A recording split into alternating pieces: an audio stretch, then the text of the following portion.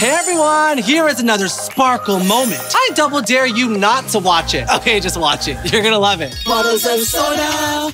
If one of those bottles should tumble and fall, 99 bottles of soda on the wall.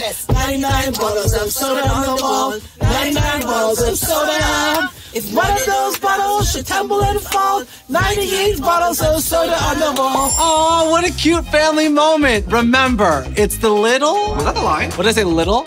Remember, it's the small moments in life that keep the world sparkling, people. Thank God.